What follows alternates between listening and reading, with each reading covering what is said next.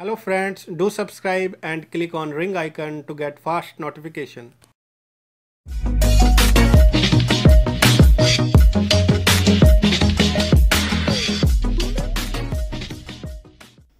Welcome friends self अध्ययन पर range से रिलेटेड आज हम टॉपिक पढ़ने वाले हैं और बाकी और भी हम इसके अंदर सेल रेफरेंस एब्सोल्यूट रेफरेंस और मिक्स रेफरेंस के बारे में भी डिस्कस करने वाले हैं लास्ट वीडियो में हमने थोड़ा सा बेसिक देखा था एक्सेल में कितने रोज़ कितने कॉलम्स या और भी अलग तरीके से हम रोज़ कॉलम को सिलेक्शन कैसे करेंगे, वो हमने सीखा था।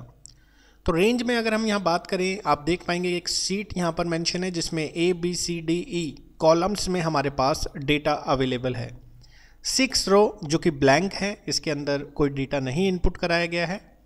हम हर रो का डेटा को सम करना चाहते हैं एफ़ कॉलम के अंदर। तो सबसे पहले हमने यहाँ पर जो रेंज लेनी होगी, उस रेंज को हमें ए कॉलम से लेकर ई कॉलम तक लेना है। या आपका जो भी डेटा जिस कॉलम से लेकर जिस कॉलम तक है, वो आपके लिए रेंज है, किस रो पर आप वर्क करना चाहते हो वहाँ तक के लिए।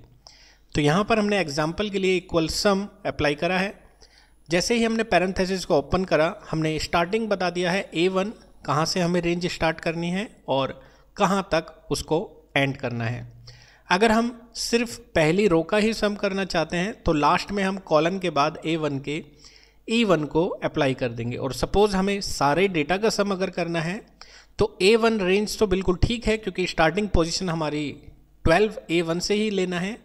लास्ट पोजीशन हमें रख देना है वहाँ पर ई e फाइव तो उस तरीके से हम यहाँ पर जो सम है, वो पूरी तरीके से सारे डेटा का करेंगे। रो वाइज करना चाहे तो रो वाइज आप डेटा दे सकते हैं अदरवाइज़ आप लास्ट कॉलम के अंदर भी उस डेटा को सम कर सकते हैं। सेम एज अगर हमें कॉलम का सम करना है सपोज़ ए कॉलम के डेटा का मुझे सम करना है सिक्स रो पर ए कॉलम के अंदर ही तो यहाँ पर मैंने जो फॉर्मूला अप्लाई करा है इक्वल सम पैरेंथेसिस ओपन करने के बाद ए वन क्योंकि स्टार्टिंग पोजीशन हमारी कौन सी है, और कॉलन के बाद ए फाइव क्योंकि आखिरी पोजीशन हमारी ए फाइव है। तो सेम एज आप रेंज कोई भी दे सकते हैं, जहाँ से जहाँ तक का आपको डेटा का सम या और भी तरीके के फॉर्मूलेस को अप्लाई करना है। तो ये था हमारा रेंज के बारे में। नीचे यहाँ पर मेंशन भी है कि अगर आप सारे डेटा का सम करना चाहते हैं तो आपका जो रेंज है ए वन से लेकर ई e फाइव तक आपको अप्लाई करना होगा। अब बात कर लेते हैं सेल रेफरेंस के बारे में, जिसमें पहला हमारा टॉपिक है रिलेटिव रेफरेंस नॉर्मली हम करते क्या हैं कि हमने एक बार अगर फार्मूला अप्लाई कर दिया सपोज़ आप एफ़ कॉलम में सम फार्मूला अप्लाई करा है, उसके बाद आप क्या करेंगे, उसे ड्रैग कर देंगे। ड्रैग करने पे क्या होगा? हर रो का सम ऑटोमेटिकली आ जाएगा। यानी कि आपको मैनुअली बार बार फार्मूला अप्लाई नहीं करना। ये आप सभी को पता होगा कि आप सिर्फ़ ड्रैग कर देंगे माउस से तो ऑटोमेटिकली वो सारे फॉर्मूले जो भी आपने पहली रो में लगाए हैं ऑटोमेटिकली सबका सम कर देगा। लेकिन वो इसलिए क्योंकि जो हमारा एक्सेल है, वो रिलेटिव रेफरेंस को कॉल करता है। यानी कि आप अगर कुछ भी नहीं करते और सिंपल ड्रैग कर देते हैं तो जो फॉर्मूला ड्रैग होने पर रेफरेंस लेगा, वो उसका रिलेटिव रेफरेंस लेगा। मींस अगर आप पहली कॉलम में लगा रहे हैं तो पहला कॉलम तो ऑटोमेटिकली आपने अप्लाई करा ही है। साथ ही साथ दूसरा, तीसरा, चौथा और पाँचवा रो ऑटोमेटिकली वहाँ पर ड्रैग करने पर चेंज हो जाएगा। ये अभी हम प्रैक्टिकली देखेंगे कैसे एग्ज़ाम्पल के लिए हमने यहाँ पर कुछ डेटा इनपुट करा लिया है, उसके बाद हम यहाँ पर फॉर्मूला अप्लाई करते हैं। फॉर्मूला अप्लाई करने से पहले हमें इक्वल साइन को यूज़ करना होगा। सम के बाद पैरेंथेसिस ओपन करने के बाद, आप चाहें तो माउस से भी सिलेक्शन ले सकते हैं। आप देखेंगे ए वन से ई e वन तक का सिलेक्शन ऑटोमेटिकली आ चुका है। अब आप नॉर्मली करते क्या है? सिर्फ़ ड्रैग कर देते हैं और बिल्कुल ड्रैग करने से सम हमें दिख रहा है। आप देखेंगे फॉर्मूला में ऑटोमेटिकली रो चेंज हो रहा है। ये हमारा रिलेटिव रेफरेंस है। इट मीन्स कि आप फॉर्मूला अगर ड्रैग करते हैं तो वो सेम रेफरेंस कॉल कर लेता है अकॉर्डिंग टू रो लेकिन अगर आप सेम रेफरेंस अप्लाई नहीं करना चाहते तो उस केस में आपको क्या करना है? उस केस में आपको यूज़ करना है एब्सोल्यूट रेफरेंस आप देख पाएँगे यहाँ पर एक एग्ज़ाम्पल लिया है हमने आइटम हमारा ए कॉलम में मेंशन है। उससे पहले पहली रो में हमने डिस्काउंट और डिस्काउंट के बाद फाइव परसेंट यहाँ पर अप्लाई कर रखा है। आप क्या करना चाहते हैं? हर प्रोडक्ट का डिस्काउंट सेम रखना चाहते हैं। आप चाहें तो फाइव परसेंटेज लेके कर सकते हैं, लेकिन अगर ऐसा करते हैं ड्रैग वो भी मैं आपको बताने वाला हूँ कि उससे क्या गड़बड़ होने वाली है। तो आइए सबसे पहले इसको प्रैक्टिकली ही देख लेते हैं, क्योंकि तभी आपको ये क्लियर हो पाएगा। आप देखेंगे कि हमने सेम एज टेबल बना ली है, जैसा पीडीएफ में मेंशन था। यहाँ पर हमने इक्वल साइन के बाद बी वन सेल का रेफरेंस ले लिया है। और अगर हम ऐसा करते हैं तो बिल्कुल पाँच परसेंट यहाँ पर शो हो रहा है। अब हमें सेम हर कॉलम में, इसी डी कॉलम में हर रो पर पाँच परसेंट को अप्लाई करना है। तो हम क्या कर देते हैं, इसको ड्रैग कर देते हैं। लेकिन अगर हम ऐसा करते हैं तो आप बिल्कुल देख पाएँगे रिलेटिव रेफरेंस की वजह से वो यहाँ पर, जैसे हमारा ये जो सेल था बी वन था, बिल्कुल हमने यहाँ पर बी वन लिया है।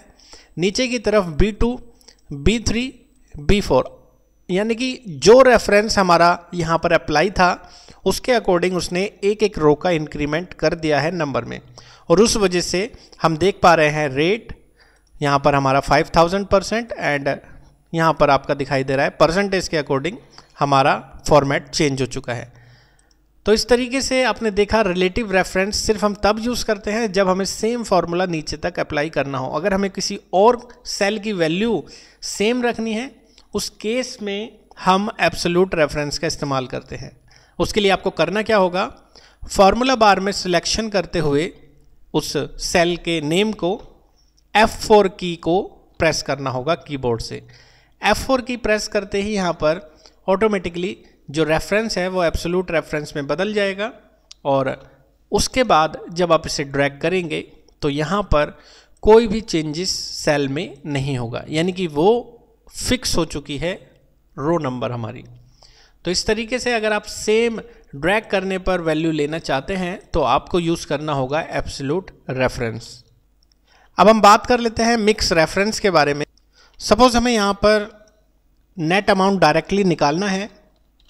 और उसमें हम दोनों चीज़ों को यूज़ करना चाहते हैं रिलेटिव रेफरेंस को भी और एब्सोल्यूट रेफरेंस को भी। तो उस केस में हमें क्या करना होगा? सबसे पहले तो हमें यूज़ करना होगा इन दोनों का मल्टीप्लिकेशन हम एक पैरेंथेसिस साइन ओपन करते हुए इसको पहले सेपरेट मल्टीप्लाई कर लेते हैं। हमने बी थ्री सेल की मल्टीप्लाई कर दी है सी थ्री सेल से। इसका मतलब हम इसे ड्रैग अगर करेंगे तो नीचे इसका रो नंबर ऑटोमेटिकली चेंज होगा, क्योंकि हमने यहाँ पर एब्सोल्यूट रेफरेंस को यूज़ नहीं करा है। अब हमने करा क्या है? माइनस हमने करा है, फिर से पैरेंथेसिस ओपन करते हुए सेम हमने दोनों का मल्टीप्लाई कराया है। B three multiply C three again और इसको मल्टीप्लाई कर दिया है हमने बी वन सेल के साथ। लेकिन ये बी वन सेल हम हर रो के लिए फिक्स रखना चाहते हैं, और इस चीज़ को हमने यहाँ पर F4 की को प्रेस करते हुए पास करा दिया है। यानी कि पहले तो वो दोनों की मल्टीप्लाई करेगा और उन्हीं मल्टीप्लाई का पाँच परसेंट उसी में से घटा देगा। तो हमें हमारा नेट अमाउंट मिल जाएगा। यानी कि आप देखेंगे 50 इंटू फाइव टू तो 250 जब अमाउंट आएगा, वो 5 परसेंट लेस होने के बाद आपको यहाँ पे दिखाई देगा, यानी कि दो सौ पैसे। ये हमारा नेट अमाउंट निकल के आया है। सेम एज़ आप अगर चाहते हैं इन चीज़ों को ड्रैग करने पर तो आप देखेंगे कि हर रो में नंबर तो चेंज हो रहा है सेल का, लेकिन लास्ट में ये जो बी वन सेल है, उसे हमने फिक्स रखा था और वो हर रो के लिए पाँच परसेंट फिक्स है। तो आप अब अच्छे से क्लियर हो चुका होगा। रेफरेंसेस हमारा मेन रोल प्ले करता है पूरे एक्सेल को सीखने में। तो रेफरेंसेस की क्लास यहाँ पर ख़त्म होती है। नेक्स्ट वीडियो में हम कुछ बेसिक एग्ज़ाम्पल कैलकुलेशन से स्टार्ट करने वाले हैं और आगे तक बहुत सारी चीज़ों को सीखने वाले हैं। आपका अगर कोई भी क्वेरी है इस वीडियो से रिलेटेड या कोई भी टॉपिक आपको समझ नहीं आया है तो आप कमेंट बॉक्स में लिख सकते हैं। वीडियो पसंद आने पर आप इसे लाइक कीजिए एंड अपने फ्रेंड्स के साथ शेयर कीजिए। Thanks for watching bye bye